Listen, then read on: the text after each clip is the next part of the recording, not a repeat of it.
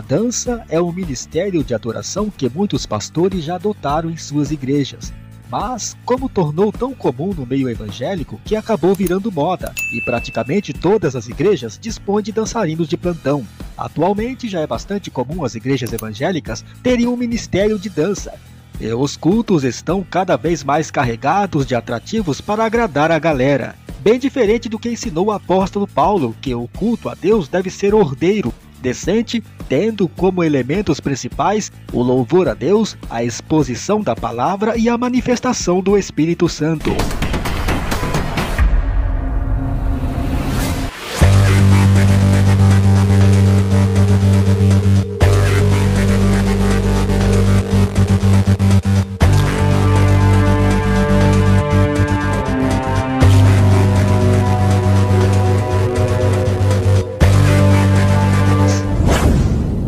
Mal podemos acreditar no que vamos ver agora.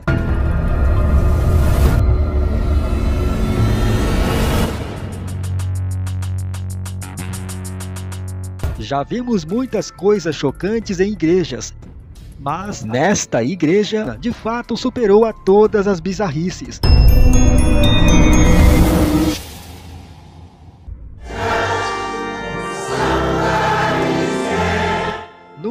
Especial, uma música da cerimônia da igreja encheu toda a congregação. Muitas pessoas reunidas para uma festa.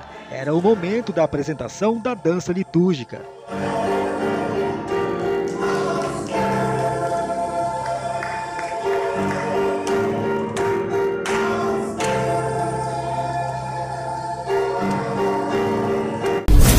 Nessa mesma igreja que outrora se apresentara uma dança bem comportada, resolveram levar a dança para outro nível. É mais uma vez para mais um dia de culto com a presença de uma cerimônia de dança litúrgica, que o fez a igreja encher de fiéis.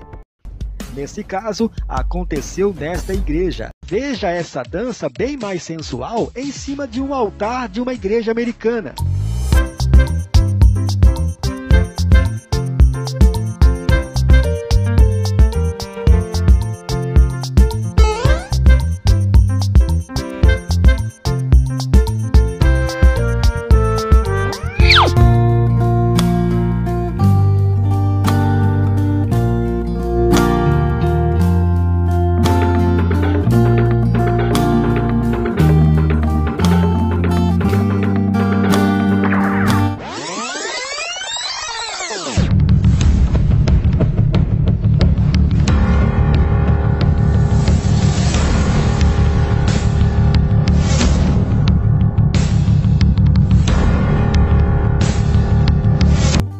Jovem não identificada aparece no vídeo com roupa curta e dançando de forma sensual.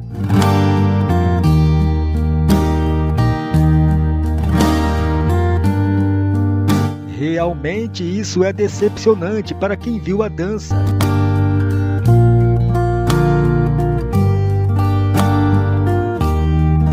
Seria essa apresentação uma total profanação desse lugar considerado sagrado? Essa dança é totalmente inapropriada para ser realizada em um ambiente que se diz igreja. Ela está dançando sensualmente, se mostrando no altar. Não há nada nessa dança que nos leve a contemplar ou glorificar a Deus. Essas danças buscam apenas glorificar a carne e todos os vícios que a acompanham.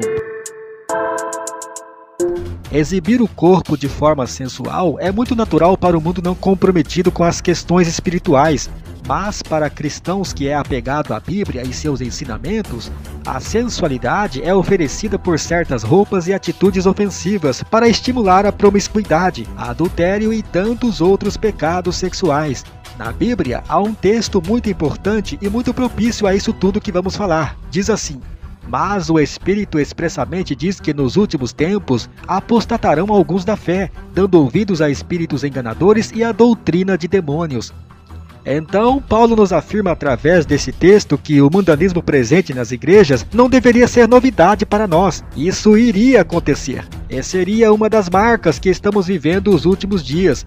Quando lemos Apocalipse capítulo 2, versículo 3, notamos que Jesus repreendeu algumas igrejas por causa do seu mundanismo e por causa de seus valores distorcidos. Então essa questão do mundanismo dentro da igreja não é uma novidade, porque Paulo já havia dito que isso tudo é o resultado de doutrinas de demônios.